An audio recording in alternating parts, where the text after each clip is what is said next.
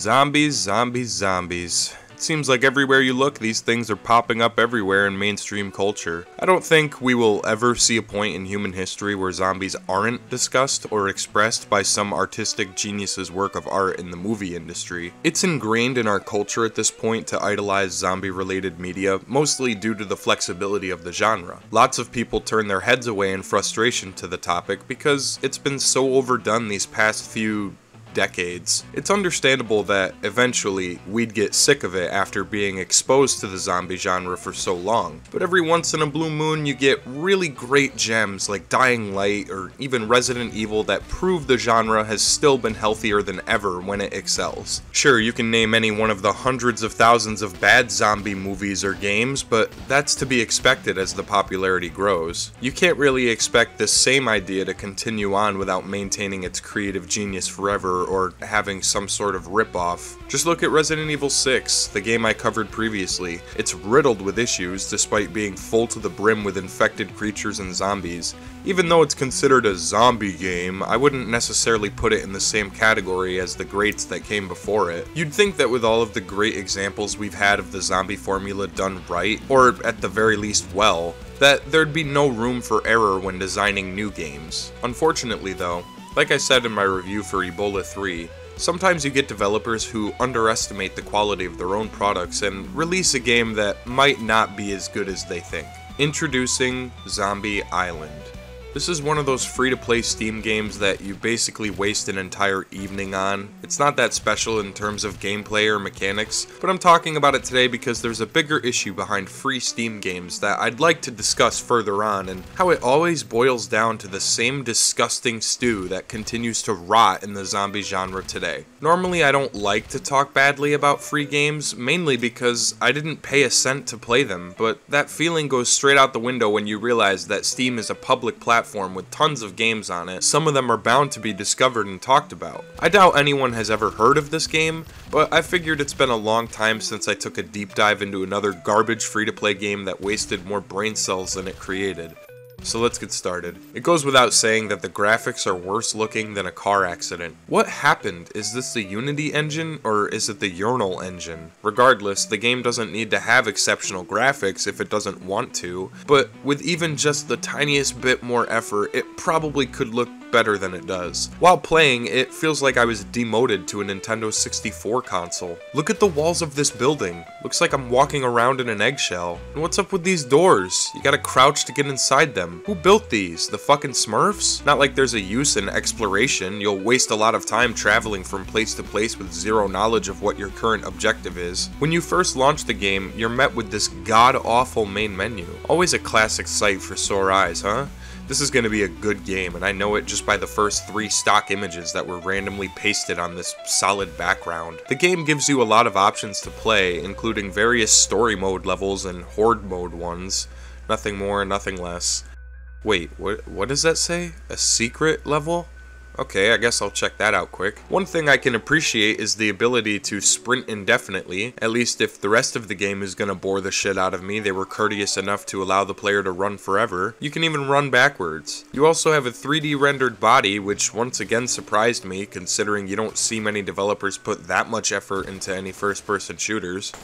Who's there?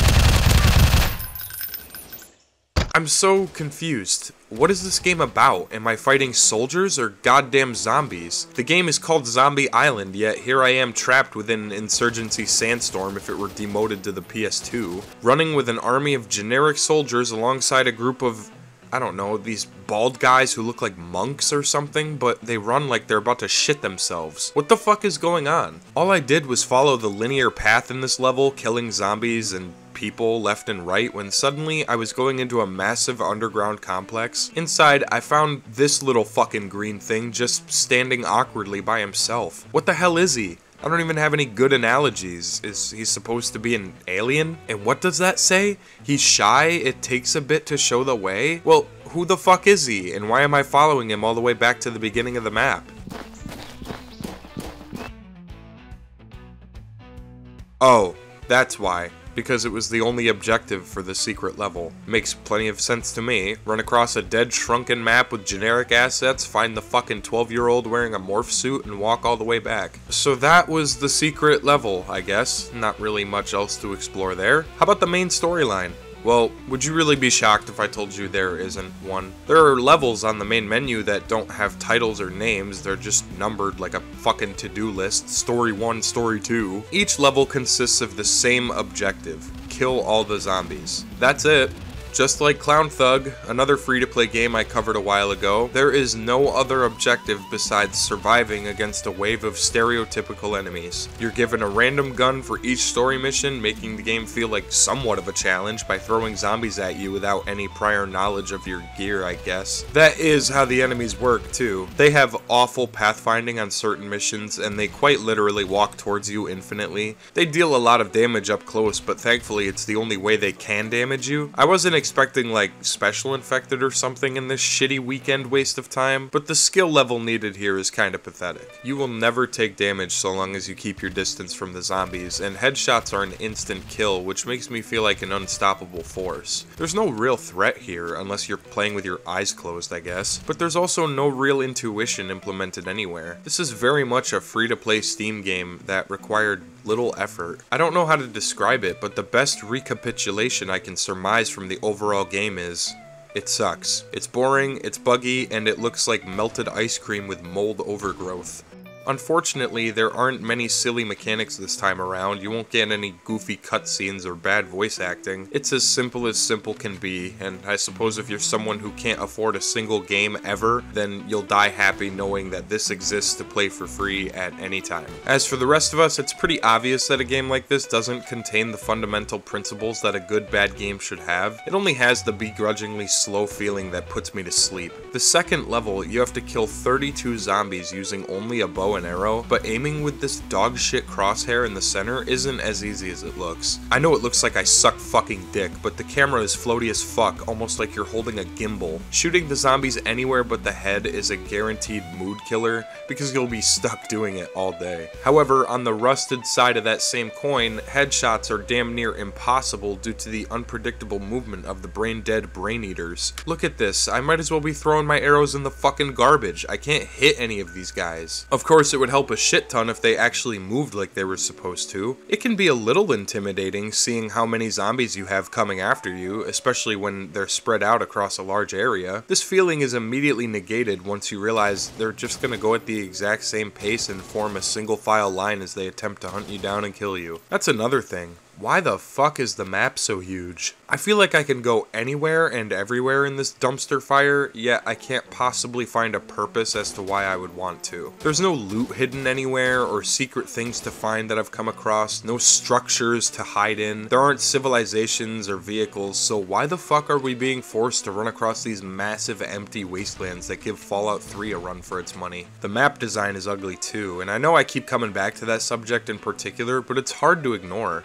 Some of the hills and terrains look like vomit if it were disguised as orange juice. Others just look flat or stretched out in such an uncomfortable image that my eyes twinge upon contact. Look at this opening level. Where the fuck am I? A pixelated polygonal bugle? And what's that supposed to be? Grass?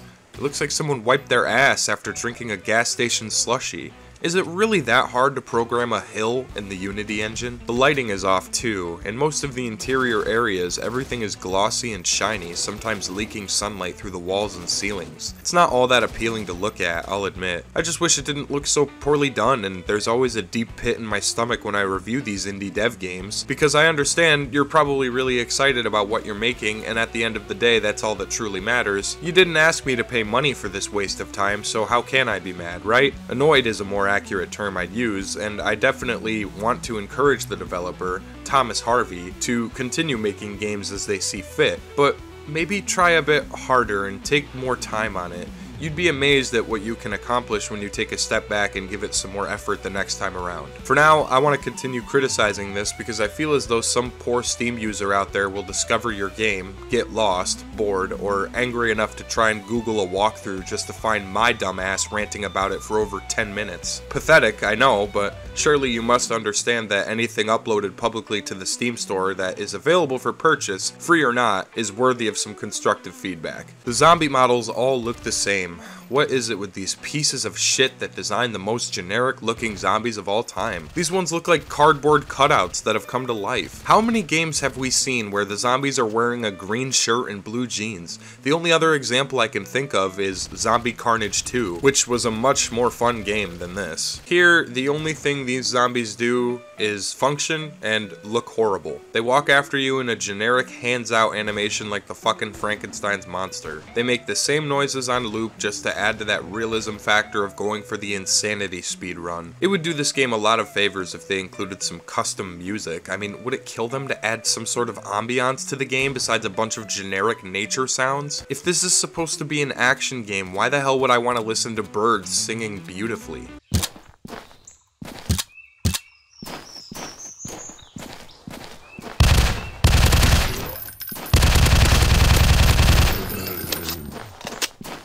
Water doesn't have much of an effect here. It doesn't slow zombies or yourself down, so there's no real reason to mention it. At least it's something and not nothing, like in Clown Thug Cop Zombies, which didn't even have a fucking map. So yeah, it gets somewhat of a point for doing better than that game. That's not saying much though, that's like saying eating colored thumbtacks tastes better than eating glass. Either way, it's a boring slog with only one objective, plain and simple. But I might as well check out the rest of the game. There isn't much, but there's more here that I'm sure Thomas Harvey would want us to explore together. Also, very weird that the developer's name is Thomas Harvey, my last name being Thomas and me owning a dog named Harvey. Weird. There's an option to play an endless horde mode for the game, but I couldn't get it to work. Booting up the first endless level and I was able to mosey around without taking any damage at all, and I survived for 5 minutes. Of course, it would be imperative to mention that enemies would not spawn during the Horde mode. Yeah, so either this game is broken or it's just so bad that the guy didn't want to finish the whole thing. Anyway, the other story modes don't matter too much. It's very much the same thing every time. Spawn, grab a gun off the floor, pick up the ammunition in tedious fashion, and then get ready for some of the worst action gameplay you've ever seen. The ambiance just repeats indefinitely on loop with the same sound effects over and over just to further frustrate you with the boring atmosphere and tension. There's no tension, obviously, this is just another recycled asset flip in the library of Steam, but I feel as though talking about it and pointing out its flaws might prevent more garbage like this from coming out. The guns all feel the same, with ridiculous recoil mechanics and a crosshair that flat out doesn't predict where your bullets will accurately travel. I swear, the bow and arrow is the worst weapon in the game due to the simple fact that it misses almost everything you try to shoot. If you're not fucking Robin Hood, chances are you're gonna struggle a lot to hit your mark. The one good thing the game has going for it might be the ragdoll physics. It's goofy and entertaining to watch the zombies die in such a stiff fashion, but it's not enough to keep me invested in the grand scheme of things. Shooting these assholes in the body does nothing, it's like rinsing a copper suit in microbial acid. You're not going to do anything that way. Instead, you should focus your attention on headshots and keeping your distance. There's also an issue with the pathfinding of the zombies, if they can even find you half the time. Look at this, what the fuck's going on? A zombie family reunion? They're all trying to hug each other for Christ's sakes. The map also sucks, it's way too huge for this type of game I guess. You're given a random number of enemies to defeat in each level, sometimes it's 30, sometimes it's 120, but either way the gameplay remains the same. You're running across across miles of forest and dead environments just to kill the 5 or 6 zombies that still function normally. The rest you'll have to seek out yourself and kill if they don't find their way to you. Oh yeah, the game fucking crashes if you press any buttons on your keyboard during the loading process. That's cute. Sometimes you'll be playing the game like an actual zombie in reality. You'll lose track of the enemy count on the map just to shoot the last guy and accidentally crash your game because of it. Honestly, what more could I say? It amazes me that Steam allows such games to exist exist on their platform, even if the price is free. These kinds of games are always being dumped into the library and mixed into the good shit that we love to play. Listen, everybody deserves a chance to show off their creativeness when it comes to video game design, but this is a lazy, undercooked mess. Nothing more. I'd say take it back to the drawing board and do what ARBS or even Their Land did, which was include a really goofy story with some voice acting alongside a plethora of wacky enemies to kill. If you're gonna make a trash video game, have fun with it, man. I don't know why more people don't do this because the standard generic indie game formula is fucking awful. Zombie Island is the worst zombie game I've played so far, and the reason being it doesn't try to be anything more than what it is. You're a generic nobody fighting the same generic nobodies, and you can't do anything about it. Zombie Island doesn't let you do anything but suffer in silence. It's a massive waste of my time, my energy, and my patience. But I thought I'd review it for the sake of showing you all a game that just doesn't do it for me me. By all means, you're more than welcome to try it out yourself, but you might want to have a ghost energy drink before hopping into it.